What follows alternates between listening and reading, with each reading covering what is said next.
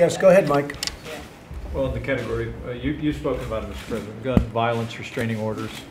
Uh, They're called, California actually has a version of this. And uh, I think you, in your meeting with governors earlier this week, individually and, and as a group, we spoke about, um, about states taking steps. But the focus is to literally give families and give local law enforcement additional tools if an individual is reported to be a, a potential danger to themselves or others.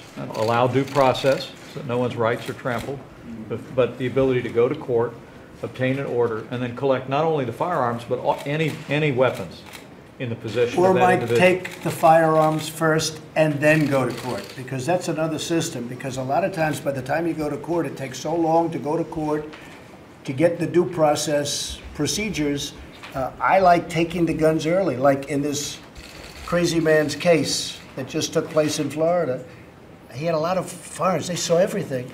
To go to court would have taken a long time, so you could do exactly what you're saying, but take the guns first, go through due process second. Hey there, thanks for checking out CNBC on YouTube. Be sure to subscribe to stay up to date on all of the day's biggest stories. You can also click on any of the videos around me to watch the latest from CNBC. Thanks for watching.